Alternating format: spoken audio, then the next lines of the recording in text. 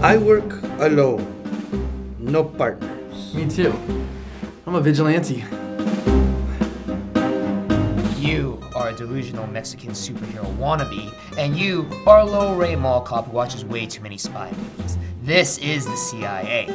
We're spies, and trust me, it's nothing like in the movies.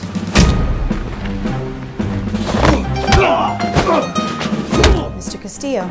My brother is still alive and in possession of the schematic. He doesn't know that. Shh!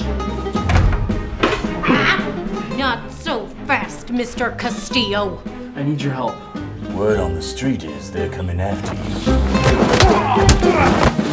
Can you be trusted?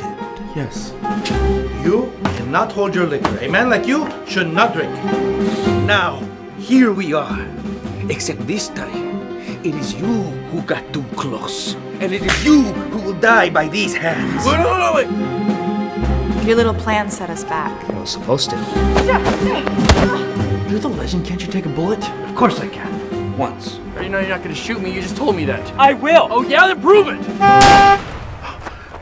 You almost shot me. I'm surprised you did not poison my drink. I could have poisoned the glass. Do you remember that night? She was my wife! Does that matter to you? She was my wife! No, it did not mean nothing. I'm starting to understand. I mean, ow. I'll you know your brother's not a coward, and as his sister, he deserves for you to hear what he has to say. Where's my schematic? What? What are you doing? They're not going anywhere. Kill him, you stupid hillbilly!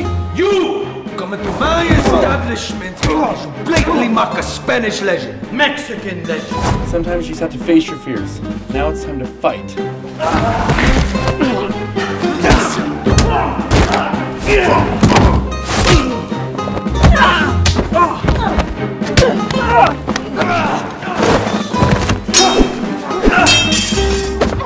Are you with me?